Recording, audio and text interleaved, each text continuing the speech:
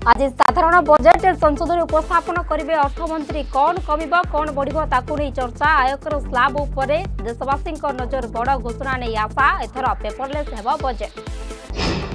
କେନ୍ଦ୍ର ବଜେଟ୍ରୁ ଓଡ଼ିଶାକୁ ବଡ଼ ଆଶା। ତଥ୍ୟ କହୁଛି କେନ୍ଦ୍ରର ଫୋକସ୍ରେ ରହିଛି ରାଜ୍ୟ। ଛଅ ବର୍ଷରେ ମୋଦି ସରକାର ଦେଇଛନ୍ତି ରେକର୍ଡ ଅନୁଦାନ। ସେପଟେ ଖର୍ଚ୍ଚ କରିବାରେ ଓଡ଼ିଶାର ଟ୍ରାକ୍ ରେକର୍ଡ ଖରାପ। ପୁଣି ମାତିଲା ଦନ୍ତା ଖୋର୍ଦ୍ଧା ଟାଙ୍ଗିରେ ହାତୀ ଆକ୍ରମଣରେ ବୃଦ୍ଧ ମୃତ ଚାଷ ଜମିକୁ ଜଗିଯାଇଥିବା ବେଳେ ଦଳିଦେଲା ହାତୀ। ଏବେ ସୁଦ୍ଧା ଘଟଣାସ୍ଥଳରେ ପହଞ୍ଚି ନାହିଁ ବନ ବିଭାଗ।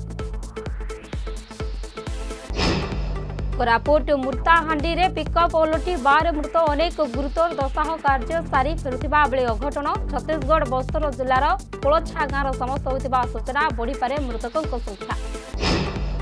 एवं पश्चिमबंग को केन्द्र ऊर्जा उपहार पूरा हो बेंगलवासी तैल और ग्यास चाहिदा। निर्माण होनिशह सतचाश किलोमीटर लंबा प्राकृतिक ग्यास पाइपलाइन। रोज़गार पाए पंद्रह लक्ष रु अधिक।